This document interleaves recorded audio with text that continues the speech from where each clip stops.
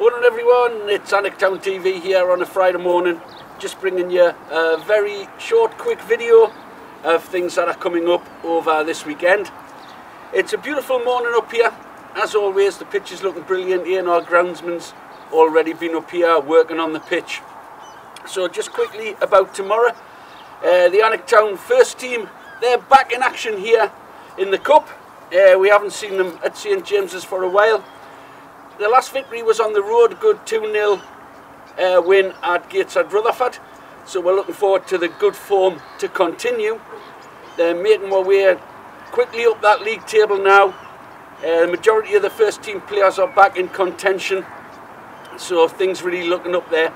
So at Stocksfield tomorrow, as I mentioned earlier, it's in the Cup. And kick-off is 1.30 tomorrow. All right, Richard Crumble? 1.30 tomorrow. So get yourselves up here. We're looking forward to quite a good crowd. Looks like the conditions uh, are going to be very favourable for us. Myself and John, we'll um, after we've done this video, we'll go inside. We'll get the bar stocked ready for everyone coming up tomorrow. So please make the effort. 1:30 kickoff. Uh, quick word about the ladies as well. Uh, they've got a long trip away on Sunday.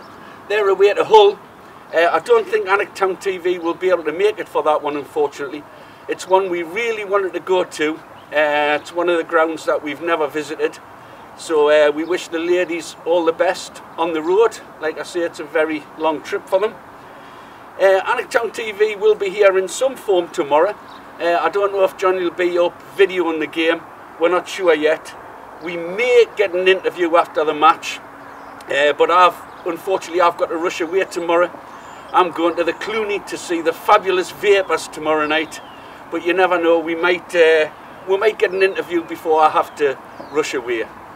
So all to say for now, we're just waiting for the weekend on this new clear day.